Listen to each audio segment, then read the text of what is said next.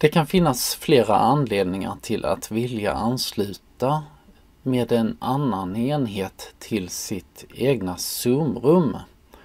Eh, det smartaste anledningen är väl egentligen att du kan se hur det ser ut för deltagare när du delar någonting.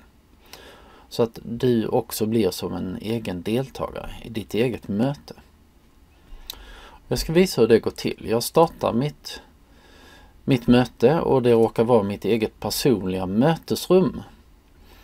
Och det är bra att veta att den gröna skölden visar alltid mötesinformation. Så när jag klickar på den så får jag se var jag befinner mig någonstans.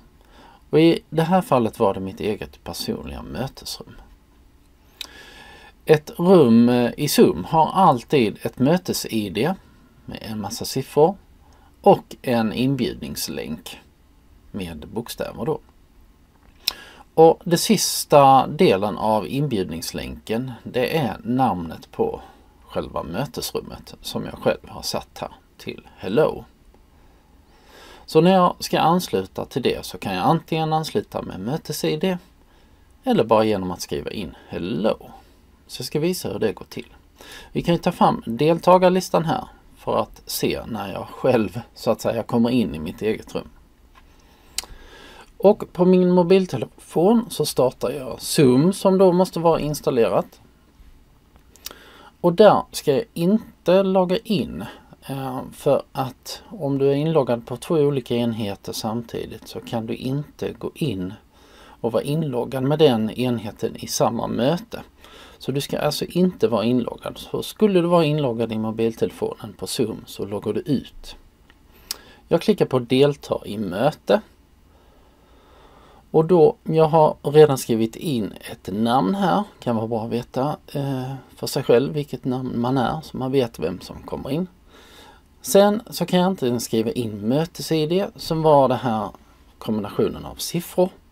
Eller så kan jag klicka här på delta med ett personligt länknamn för att skriva in min, eh, den här sista Hello. En sak som jag vill undvika direkt det är att jag vill inte ansluta till ljud. Eh, jag kan stänga av min video också. Eh, för att det inte ska bli rundgång i ljudet. Så jag har bägge avstängda där. Men återigen, upp här och klicka på delta med ett personligt länknamn och det var ju då Hello, så jag skriver Hello och sen klickar jag på knappen Gå med. Och då ska jag ramla in här på en gång och då ser man att nu är jag inne i mötet. Och då kan jag alltså se hur det ser ut för mig som deltagare. Det finns ju en del saker man kan göra här under verktyg för värdar. Det är att man till exempel har ett eh, väntrum aktiverat och att man inte tillåter deltagare att göra vissa saker. Så med hjälp av detta så kan du också se hur det ser ut. Eh, hur det funkar som deltagare att tillåta eller inte tillåta sådana här saker. Och också hur det ser ut om man skulle vara i ett väntrum och man behöver komma in i det. Så det finns alla anledningar att koppla upp sig till sitt eget mötesrum för att testa lite olika saker. Så lycka till med det!